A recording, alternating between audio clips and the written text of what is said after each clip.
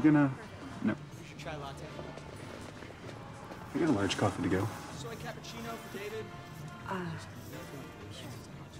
excuse me, sir? Sir? Sir, yeah, you, sorry. You do realize that you just cut in front of a bunch of people, right? I'm so sorry. I didn't know. Did you not know? Because, I'm just in a big rush, so. so you did know. And I'm sure everyone here is in a rush. Okay. Is this really happening?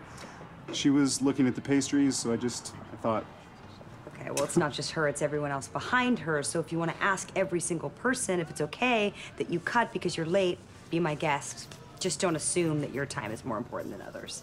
thank you for the lecture. Have a great day, everybody. Not you.